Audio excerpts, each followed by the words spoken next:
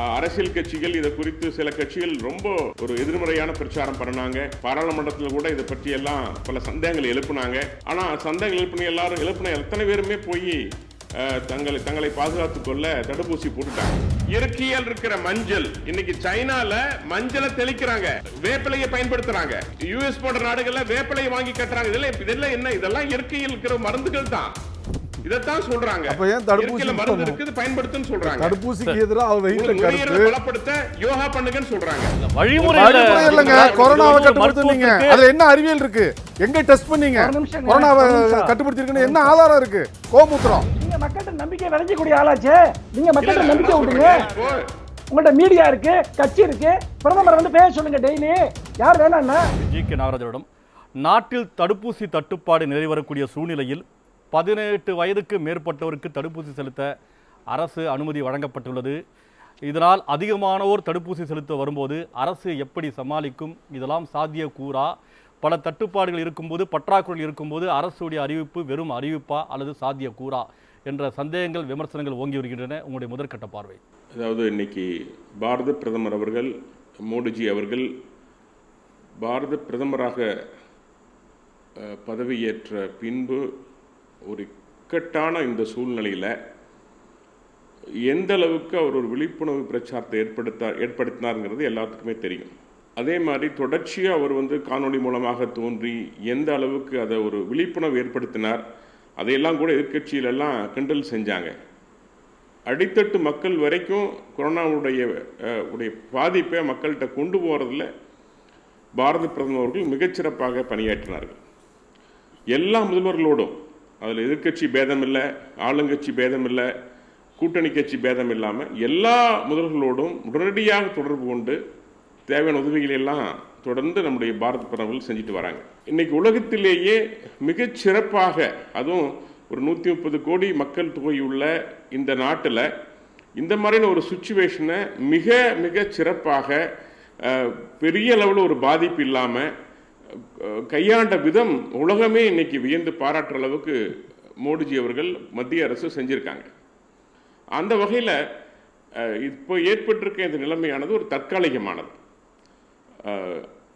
எந்த காலத்திலையும் சரி மத்திய அரசு பாஜக அரசு தவறான ஒரு பிரச்சாரத்தை எப்பொழுதும் செய்யாது. தன்னால் ஆகாததை ஒருபோதும் சொல்லாது. எது முடியுமோ அதை மட்டும்தான் சொல்லும். அந்த வகையில் இதுவரைக்கும் மிகச் சிறப்பாக கையாண்ட இந்த கொரோனாவுடைய பிரச்சனையை எதிர்காலத்திலையும் மிகச்சிறப்பாக கையாளக்கூடிய சக்தி மத்திய அரசிடம் இருக்கிறது. அதுவும் குறிப்பாக இன்னைக்கு மருத்துவர்கள் செவிலியர்கள்லாம் எந்த அளவுக்கு ஒரு ஒரு அர்ப்பணிப்போட பணியாற்றுறாங்க எந்த அளவுக்கு ஒரு உணர்வோட பணியாற்றுறாங்க தொடர்ச்சியாக பாரத பிரதமர்களும் அவர்களை பாராட்டிட்டே வராரு. அந்த வகையில் இது ஒரு மிகப்பெரிய ஒரு ப- ஒரு பரவலாக இருந்தாலும் கூட அதை கையாளக்கூடிய சக்தி படைத்த அரசு மத்திய அரசு. அதில் எந்த மாற்று கருத்தும் இல்லை. ஆனால் அதுக்கு எதிர்பார்க்கறது எல்லாம் மக்களுடைய கோஆப்ரேஷன். மக்களுடைய கோஆப்ரேஷன் இருந்தால் இது வந்து நிச்சயமாக இது சாத்தியம். ஏன்னா இது வரைக்குமே ஏறக்குறைய நாம் பன்னெண்டு கோடி பேருக்கு இந்தியா முழுவதும் பன்னெண்டு கோடியே அறுபத்தி மூணு லட்சம் பேருக்கு நம்ம தடுப்பூசி போட்டிருக்கோம். முதல் முறையாக தடுப்பூசி போட்டிருக்கோம். இந்தியா முழுவதும். அரசியல் கட்சிகள் இதை குறித்து சில கட்சிகள் ரொம்ப ஒரு எதிர்மறையான பிரச்சாரம் பண்ணினாங்க. பாராளுமன்றத்தில் கூட இதை பற்றியெல்லாம் பல சந்தேகங்கள் எழுப்புனாங்க. ஆனால் சந்தேகங்கள் எழுப்பின எல்லாரும் எழுப்பின எத்தனை பேருமே போய் தங்களை தங்களை பாதுகாத்து கொள்ள தடுப்பூசி போட்டுட்டாங்க.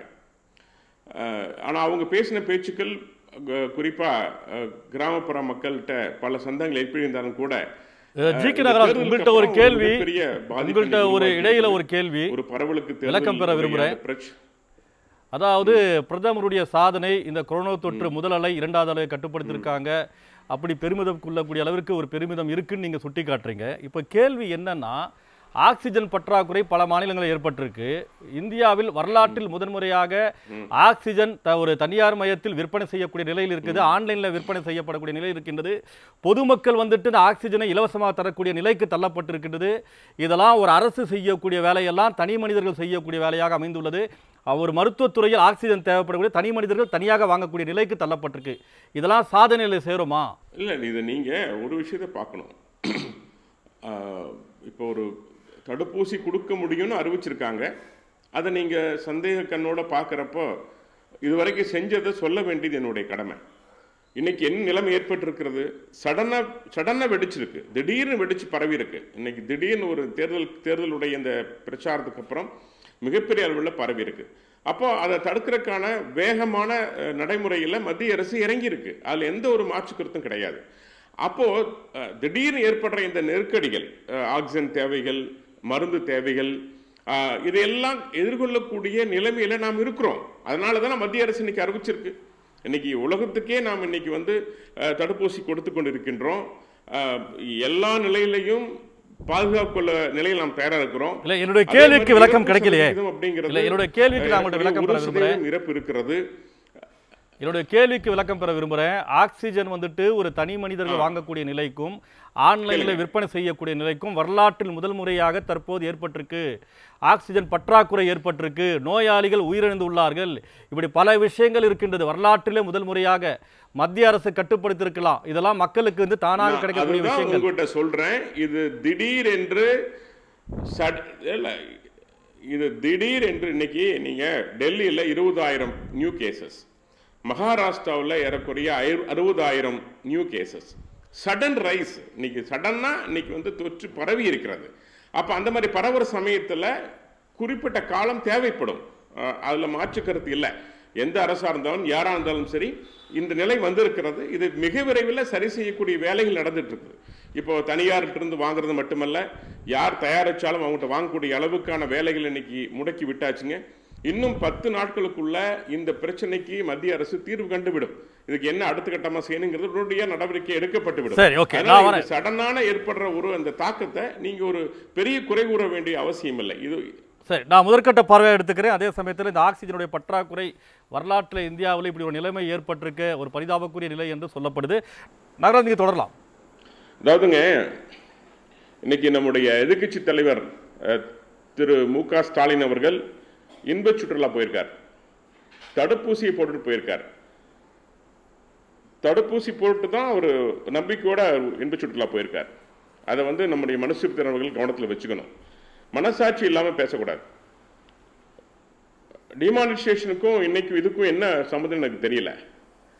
இன்னைக்கு ஒரு ஊழலற்ற நேர்மையான வெளிப்படையான ஒரு அரசு இன்னைக்கு இவ்வளவு பெரிய ஒரு சுச்சுவேஷனை இன்னைக்கு ஹேண்டில் பண்ணியிருக்கு இதே இடத்துல காங்கிரஸோ திமுக இருந்திருந்தா இங்க ஊழல் தலைவிரிச்சு ஆடி இருக்கும் இந்த தலைப்புக்குள்ள அது வரலாம். மக்களே கொரோனா தொற்று பத்தி சாதாரண பேசிக் மக்களே கொண்டிருக்கோம். ஊழலை பத்தி எல்லாம் உபதேசம் இல்ல, நம்ம கொரோனா தொற்று கேட்டாச்சுங்க பத்தி பேசிக் ஏன்னா, கொண்டிருக்கோம். குஜராத்ல அதுக்கான ஊழல் விளக்கம் பண்ணாங்க. கொடுங்க ஊழலை பத்தி எல்லாம் நிறைய இல்ல, நீங்க பார்த்தாச்சு. குறுக்கிட வேணாம் அவர் அப்புறம். கொரோனா தொற்றை பத்தி தான் பேசணும். அதை விட்டு வேற சப்ஜெக்ட் போக கூடாதுங்க அக்தர். முக்தர் நீங்க இல்ல இல்ல, இல்ல, நீங்க சொல்றது சரியான பேசினா விஷயம் தான் கொரோனா தொற்றை பத்தி தான் பேசணும். வேற விஷயங்கள் பேசக்கூடாது. சரி தொடருங்க. இன்னைக்கு கோயம்புத்தூர்ல கோயம்புத்தூர்ல பல இடங்கள்ல பல மருத்துவமனைகள்ல மருந்து அவைலபிள் தடுப்பூசி கிடைக்குது. ஏன்னா அது ஒரு ஒரு டோஸ் நீங்க ஓபன் பண்ணீங்கன்னா பத்து பேர் வரணும். பத்து பேர் வந்தா தான் அதை திறந்த உடனே பத்து பேருக்கு போட முடியும். இன்னைக்கு பல மருத்துவமனைகள்ல கிடைக்குது. இல்ல ஒரு குறுக்கீடு உங்கள்ட்ட நிறைய ஒரு குறுக்கீடு தான். நீங்க கோவை. சுட்டி காட்டுறதுனால நான் கோவையை முன்னிலைப்படுத்துறேன். ஏப்ரல் பதினேழு கோவை பொது சுகாதாரத்துறையில் இருந்து கொரோனா தடுப்பூசி விநியோகம் குறைந்துள்ளதால் கோவையில் தடுப்பூசி போடும். முகாம்கள் எண்ணிக்கை குறைக்கப்பட்டுள்ளது. அதாவது வழக்கமாக நூற்றி நாற்பது இடங்களில் இப்போது இருக்கக்கூடியது நாற்பத்தெட்டு தனியார் மருத்துவமனை உட்பட நூற்றி இருபத்தைந்து இடங்கள் மட்டுமே இருக்கின்றது.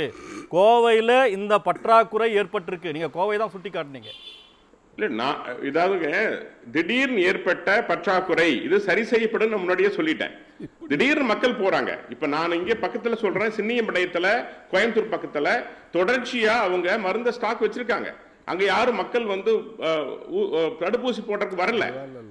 ஏன்னா இவங்க பயப்படுத்தி வைக்கிறாங்க. எதிர்க்கட்சிகளுடைய வேலையே எப்படியாவது இந்த அரசு கெட்டவீர் உண்டாக்க வேண்டும். மக்களை பயப்படுத்தி வைக்க வேண்டும். இதைத்தான் தொடர்ந்து செஞ்சுட்டு இருக்காங்க. திரு ஜி கே நாகராஜ் கொரோனா தடுப்பூசி.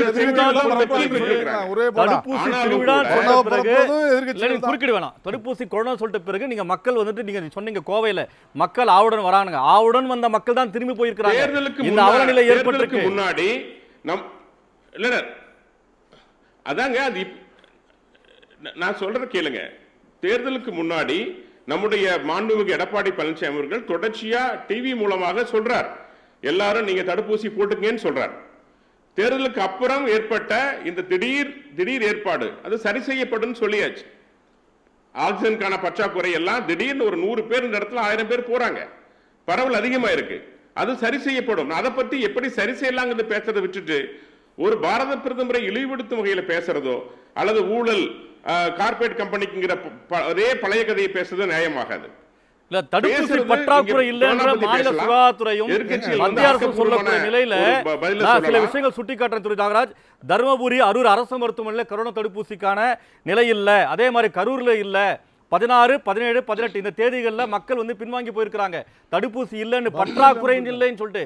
அதாவது அரசு மருத்துவமனைகளில் அதான் நான் திரும்ப திரும்ப உங்கள்ட்ட சொல்றேனே இது இது தற்காலிக தடை இது உங்களுக்கு சரியாயிரும் சொல்றேன். ஒண்ணு. இன்னும் நம்ம கம்யூனிஸ்ட் கட்சி நண்பர் சொன்னார் யோகா பண்ணா உங்களுக்கு கொரோனா வராதா? அப்புறம் அப்புறம் வந்து உங்களுக்கு கோமயம் பத்தி பேசுறார். இதெல்லாம் வந்துங்க மோடிஜி சொல்லல. யோகா பத்தி மோடிஜி ஒன்றும் யோகாவை வந்து நீங்க பண்ணுங்கன்னு சொல்லல. காலங்காலமாக நம்ம மூதாதையர்கள். இன்னைக்கு இன்னைக்கு இமயமலையில் இருக்கிற பல சாதுக்கள். பலர் இதையெல்லாம் செஞ்சு இன்னைக்கும் மிக உறுதியா இருக்கிறாங்க. இன்னைக்கும் விவசாய பெருமக்கள் தொடர்ந்து மண்ணுல வேலை செய்யறாங்க அவங்களுக்கு கொரோனா எந்த பிரச்சனையும் கொடுக்கல. மண்ணோட எந்த வாழ்க்கை இயற்கையோட எந்த வாழ்க்கை எந்த பாதிப்பையும் மக்களுக்கு கொடுக்கல. அதுல வந்து நம்ம இயற்கை ஆன்மீகம் கலந்த இந்த இந்த இந்த இந்த மருத்துவம் வந்து என்னைக்குமே மிகப்பெரிய பலனை கொடுத்திருக்கு. மூட நம்பிக்கைங்கிற நீங்க அதை வந்து நீங்க ஏன் வந்து இல்ல கொரோனா தொற்றுக்கு அது மருந்தா கேள்வி நான் வரேன் நான். மனுஷபுத்திரனோட கேள்வி முன்வைக்கிறேன் நான் வரேன் உங்கள்கிட்ட நான் மனுஷபுத்திரன் அதாவது கொரோனா தொற்றுக்கான தடுப்பூசியை எந்த பயன்படுத்தி மருந்தும் எந்த மருந்தும் உங்களுக்கு வானத்திலிருந்து குதிச்சு வந்துடாதுங்க இயற்கையால் இருக்கிற மஞ்சள் இன்னைக்கு சைனால மஞ்சளை தெளிக்கிறாங்க வேப்பிலையை பயன்படுத்துறாங்க யுஎஸ் போன்ற நாடுகள்ல வேப்பிலையை வாங்கி கட்டுறாங்க இதெல்லாம் இதெல்லாம் என்ன இதெல்லாம் இயற்கையில் இருக்கிற மருந்துகள் தான் இதைத்தான் சொல்றாங்க. அப்ப ஏன் தடுப்பூசி மருந்து? இருக்குது பயன்படுத்துன்னு சொல்றாங்க. தடுப்பூசிக்கு எதிராக அவர் வைத்த கருத்து. பலப்படுத்த யோகா பண்ணுங்கன்னு சொல்றாங்க. சரி நான் வரேன். நான் திரு மனுஷபுத்திரோட கேள்வி முன்வைக்கிறேன். கொரோனா தடுப்பூசி பற்றி எதிர்க்கட்சிகள் அவதூறான தவறான வழிகாட்டுதல் தருகின்றார்கள். நான் வரேன். உங்கள்கிட்ட வரேன். சக்தியை அதிகப்படுத்துவது இதெல்லாம் காலங்காலமாக இருந்து கொண்டு வருகிறது. காலங்காலமாக விவசாயிகள் அது ஆன்மீக பெருமக்கள் எல்லாம் பயன்படுத்தினதுதான். மஞ்சள் ஆகட்டும் கோமயம் ஆகட்டும் அல்லது மாட்டு சாணம் ஆகட்டும் இதெல்லாம் பயன்படுத்த ஒண்ணுதான் நீங்க அதை வந்து நீங்க ஏன் அதை ஏன் நீங்க நம்முடைய நம்முடைய வழிமுறையை கேவலப்படுத்துறீங்க? இல்ல வழிமுறை இல்லைங்க. கொரோனாவை ஒரு கட்டுப்படுத்துனீங்க. அதுல என்ன அறிவியல் இருக்கு? எங்க டெஸ்ட் பண்ணீங்க? கொரோனாவை. கட்டுப்படுத்திருக்குன்னு என்ன ஆதாரம் இருக்கு? கோமூத்திரம். ஒரு நிமிஷம். இயற்கையாக நீங்க நம்முடைய எதிர்ப்பு சக்தியை வளர்க்கறது வேற இது வேறு. நான் வரேன். நான் ஜே கே நாகராஜோட கேள்வி முன் வைக்கிறேன். நாகராஜ் பொது சந்தையில் தடுப்பூசிகளை விற்க அரசு அனுமதி அளிக்கப்பட்டதால் தனியார் மருத்துவமனையில் கட்டணம் கட்ட கட்டணம் உயர்வாக இருக்குமா என்ற ஒரு அச்சம் இருக்கின்றது. ஆனால் பிரதமருடைய அறிவிப்பில் இதற்கான ஒரு விளக்கம் தரல இதற்கான ஒரு புரிதல் தரல இதற்கான ஒரு தெளிவுபடுத்தல என்ற ஒரு அச்சம் இருக்கின்றது. ஏன் தெளிவுபடுத்தல? இத்தனை வரைமுறைகள் சொல்லும்போது அதற்கான நிலையம் தெரியப்படுத்தியிருக்கலாமே? இல்லை சார் நாங்கள் வந்து எதை எடுத்தாலும் ஊழல் பண்ணக்கூடிய கட்சி ஆட்சி எங்களது அல்ல.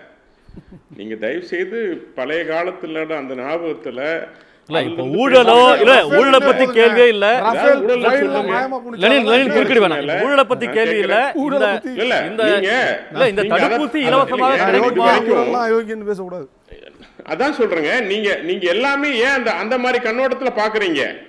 இது உயிர் காக்குற விஷயம். தயவுசெய்து நீங்க எல்லாம் பேசுறப்போ நான் பேசாம கேட்டுட்டு இருந்தேன் நான் பேச என்ன விட்டீங்கன்னா மிஸ்டர் முக்தார் என்ன பேச விட்டீங்கன்னா பரவாயில்ல. ஓகே தொடர் தொடருங்க. இப்போ இது வந்து எவ்வளவு ஒரு முக்கியமான ஒரு மருந்து. இது வந்து நம்ம நண்பர் அவர்கள் கம்யூனிஸ்ட் கட்சி நண்பர் சொன்ன மாதிரி நூத்தி பதினாறு கோடி மக்களை போய் சேரணும். விரைவில் போய் சேரணும். அப்படிங்கிறதுனால தமிழ்நாடு அரசு இலவசமா அஹ், அரசு மருத்துவமனைகளில் கொடுக்குறாங்க. மத்திய அரசு சொல்லியிருக்காங்க நீங்க ஐம்பது சதவீத மானியத்தில் நீங்க நேரடியாக நீங்க வாங்கிக்கலாம்னு சொல்லியிருக்கிறாங்க. அது மட்டும் இல்ல மருந்து கடைகளில் நீங்க வாங்கி நீங்க தடுப்பூசி போட்டுக்கலாம்னு சொல்லியிருக்காங்க இது இன்றைய காலகட்டம். இந்த கொரோனா பரவலை தடுப்பதற்கான முக்கியமான கட்டம். அந்த கட்டத்தில் சில நடவடிக்கைகளை மத்திய அரசு மேற்கொண்டு இருக்கின்றது நீங்க அதை பாராட்டணும். அதை வச்சுட்டு மோடி மோசம் மோடி மோசம் மோடி உல்லாசம் அங்கே அங்க இங்கே இங்க நீங்க நான் சொல்றேனே இது மாதிரி ஒரு பாரத பிரதமர் இந்தியாவுக்கு கிடைச்சதுனால தான் இன்னைக்கு இந்தியா வந்து காப்பாற்றப்பட்டிருக்கிறது. இல்லாட்டி நீங்க பிரேசில் மாதிரியும் அமெரிக்கா மாதிரியும் எங்கேயும் பிணக்குழியில் தான் கூஞ்சிருக்கும் இன்னைக்கு சொல்றேன் தொண்ணூத்தி ஐம்பது சதவீத மக்கள் இன்னைக்கு பாதுகாக்கப்பட்டிருக்கின்றார்கள். நம்முடைய இறையாண்மை நம்மை காப்பாற்றிக்கிறது நம்முடைய நம்முடைய நம்முடைய மருத்துவம் நம்மை காப்பாற்றிக்கிறது யாருக்கெல்லாம் உடம்புல எதிர்ப்பு சக்தி இல்லையோ யாரெல்லாம் பல்வேறு நோய்கள் இருக்காங்களோ அவங்களுக்கு கொரோனா ஒரு மிகப்பெரிய எமனாக அமைகிறது. அதுதான் தடுப்பூசி. இன்னைக்கு திமுக காரங்க எத்தனை பேர் தடுப்பூசி போட்டிருக்காங்க? நம்முடைய நாங்க தடுப்பூசிக்கு எதிராக அவர்கள் பேசல சார். தடுப்பூசி தடுப்பூசி படத்துல இருந்து. போடுறாங்களா? மோடியோட. பாக்கெட் மில்ல இருந்தா போடுறாரு. இது என்ன? என்ன. அநியாயமான என்ன நீங்க கை தட்ட சொன்ன போது எல்லாரும் தட்டணுமே எல்லாரும் மக்கள் தட்டினாங்களே இப்படி எல்லாம் ஒரு ஒரு ஒரு காலகட்டத்துல. பேச வேண்டிய அவசியமான்னு மனுஷ- கேட்கிறேன் மனுஷ- இந்த மாதிரி காலகட்டத்துல அவசியம் பேசலாமா. நீங்க மறுப்பு தெரிவிக்கலாம் இப்ப- ஜி கே நாகராஜ் முடிச்சுட்டு தடுப்பூசியை. இல்ல தடுப்பூசியை போட்டுக்கிட்டவரு இப்படி ஒரு ஒரு நடிகர் இறந்ததுக்கு அப்புறம் அது தெளிவா தெரிஞ்சதுக்கு அப்புறமும் மக்கள் மத்தியில ஒரு தவறான எண்ணத்தை விதைக்கலாமா? நான் தான் கேக்குறேன். சந்தேகத்தை? விதைக்கலாமா? என்ன விதைக்கப்பட்டது? யார் விதைச்சாங்க? நடிகருடைய இறப்புக்கு பிறகு யார் விதைச்சாங்க? என்ன விதைக்கப்பட்டிருக்கு? எதிர்க்கட்சி மீது நீங்க குற்றம் சுமத்துறீங்க? நீங்க எந்த நிலையில் நீங்க நீங்க சிறப்பா இருக்கும். நீங்க உங்களுடைய உங்களுடைய வெற்றி அரசியல். வந்து நல்ல நீங்க மக்கள்கிட்ட நம்பிக்கை விதைக்கக்கூடிய ஆளாச்சே. நீங்க மக்கள்கிட்ட நம்பிக்கை விடுங்க உங்கள்ட்ட மீடியா இருக்கு கட்சி இருக்கு பிரதமர் வந்து பேச சொல்லுங்க டெய்லி யார் வேணாம்னா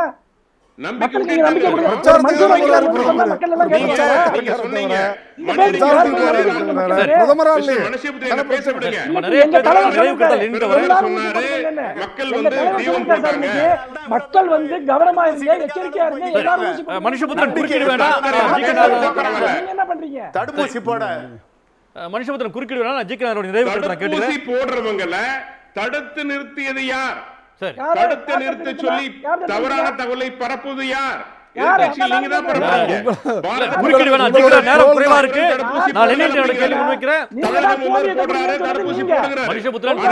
ஒத்துழைப்பு தாங்க. நேரம் ரொம்ப குறைவா இருக்கு. உங்களுடைய நிறைவு கருத்து இருக்கு. கடந்த